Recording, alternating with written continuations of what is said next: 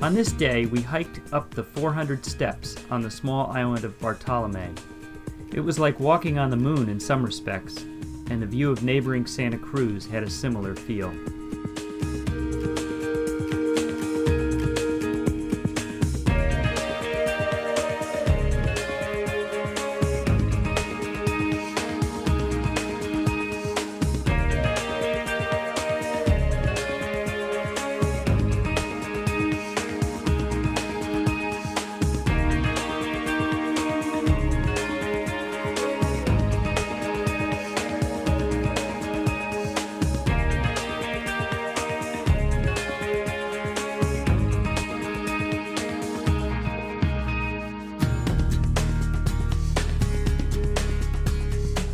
The snorkeling at Bartolome was fantastic, but a few drops of water inside the housing of my video camera put a damper on the views I could share of rays and sharks.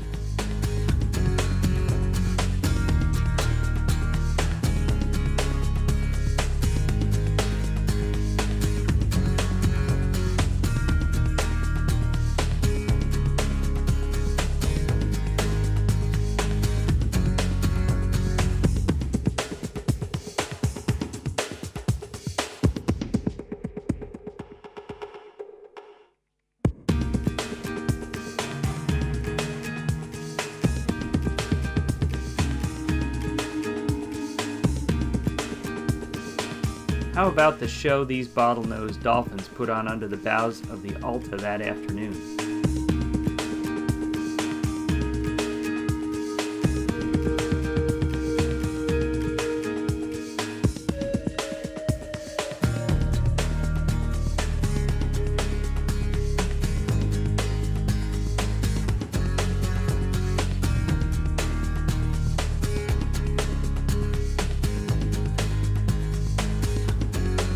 After refueling at Baltra, we visited a turtle and shark nursery on the north shore of Santa Cruz.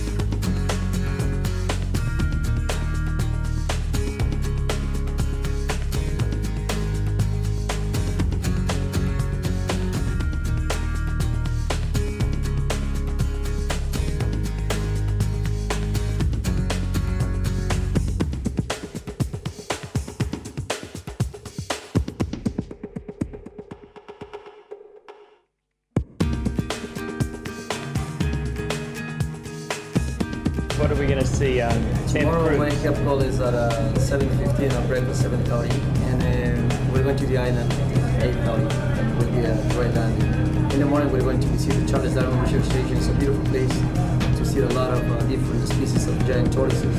So after the research station we will take a bus and we're going to the island of Santa Cruz. It's only 20 minutes by bus ride. Then we're going to walk into the vegetation of the island to see the giant tortoises, including the Lonesome George. Lonesome George is one of the most famous tortoises because he's the last one from his, his race, from his island. We keep a George for about 30 years in his core with two females, but two, these two females are the same subspecies. But George lived with these two females for 30 years, but George never tried mating with that females. I don't know what happened with George. Is he out of practice? Yes, probably George need a porno magazine. But of course, about tourists and about humans. We don't spend probably two hours in the Highland of Santa Cruz and we'll be back to the town around 2 or 3 o'clock. And then we'll be back to the boat around 6 o'clock. And our dinner tomorrow is 6.30. And we're sailing to the southeast uh, Galapagos Island to Española at midnight tomorrow night. Sounds like a great day.